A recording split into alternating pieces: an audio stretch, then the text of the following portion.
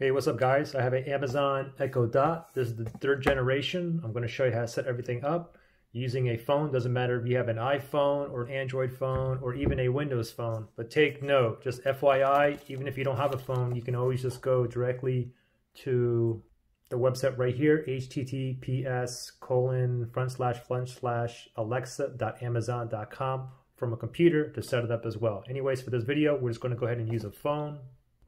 So first thing we got to do is just go ahead and plug in your Echo Dot. Plug this in. Let's put this into the outlet here. And you want to go ahead and let this sit until it says something here. Give it like 15 seconds or so. And then while we're waiting for this here, go ahead into your app store. Doesn't matter if it's an iPhone, Windows phone, or Android phone. Anyways, just go directly to your app store here and you want to go ahead and look for Alexa app Go ahead and tap on that. And then this is what it looks like right here. I already signed, I already have mine downloaded. Let's go ahead and click on that. You will have to uh, sign in with your Amazon account. If you don't have one, you need to make a new one, right? Now I've already signed in here and I'm waiting for this uh, Echo Dot to give me some instructions. Hello. Okay. Your device is ready for setup. Just follow the instructions in your Alexa app. Okay, now you can see this yellow light going around. You should have this, okay? If you don't have a yellow light, you see this button here with the dot, just press and hold that until it says it's in setup mode, okay? Anyways, mine is working perfectly fine. I see the uh, yellow that's moving around. So go ahead and open up your app. And then from here, go ahead and click on devices down here. And then click on the plus sign up here. And then we're going to click on add device.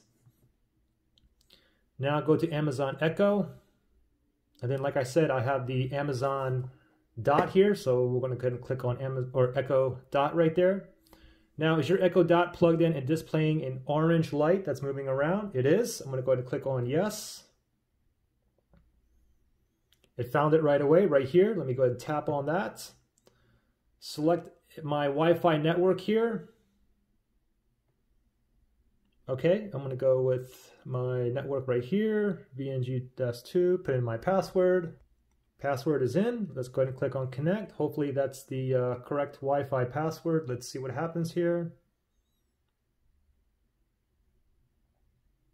So I was currently in pairing mode.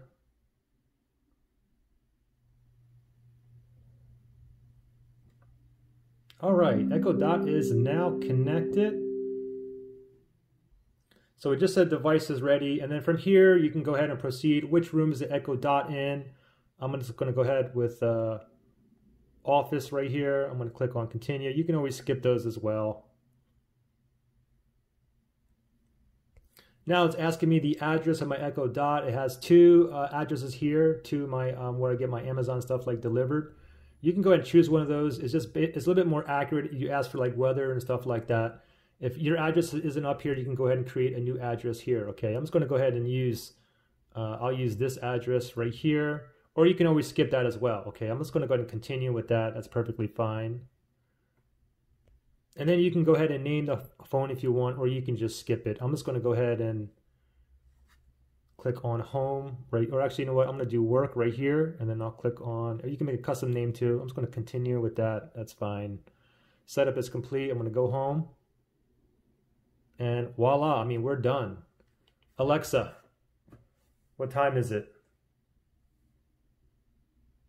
The time is 4.03 p.m.